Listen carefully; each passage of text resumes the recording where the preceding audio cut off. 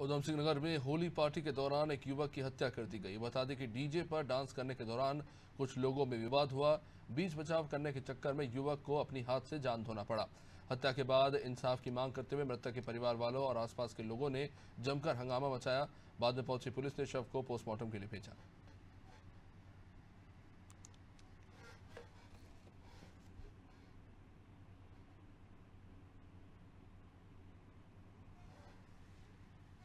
मौके पर पुलिस ने पहुंचकर स्थिति को कंट्रोल में भी किया है और शव को कब्जे में लेकर पंचायतनामा भरा गया है। पोस्टमार्टम की कार्रवाई इसमें कराई जा रही है।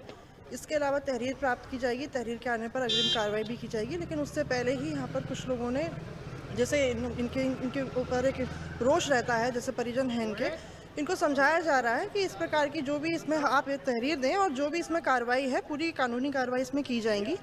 जो भी इसमें दोषी हैं, उनको अरेस्ट किया जाएगा और इसमें 302 के तहत मुकदमा पंजीकृत किया जाएगा। इसमें अभी मौके से एक व्यक्ति को हमने गिरफ़्तार कर लिया है। बाकी हमारी तीन दबिश टीमें बनी हैं, जो अलग अलग संभावित स्थानों पर दबिश दे रही हैं। जल्दी ही उनकी भी हम गिरफ्तारी कर लेंगे।